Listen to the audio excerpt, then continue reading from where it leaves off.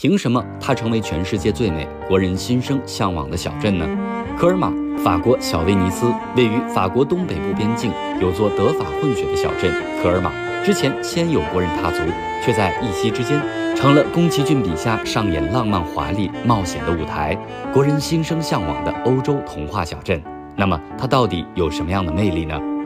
科尔玛不只是犹如童话般的小镇，它也是法国重要的阿尔萨斯葡萄酒小镇，还是美国纽约自由女神像作者巴托尔迪的故乡。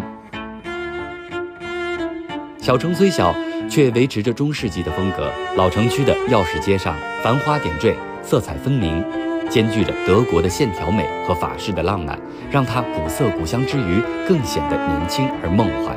不过，在科尔玛最吸引我的还是人头屋了。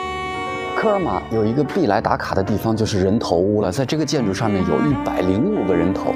以前啊，它是一个藏酒屋，上面一百零五个人头呢，它是由一百零五个艺人的表情所组成的。所以呢，科尔玛第一站啊，你一定要来这里看一看。莱茵河的支流穿城而过，描绘出一幅小桥流水的天鹅风景画。悠悠窄巷间，徐徐微风里，好像连浮躁和阴霾都被吹散了。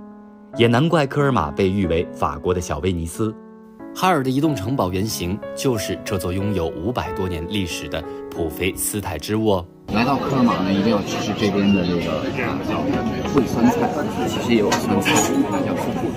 然后它这个是比较传统的一个一个酸菜，然后这个有肉。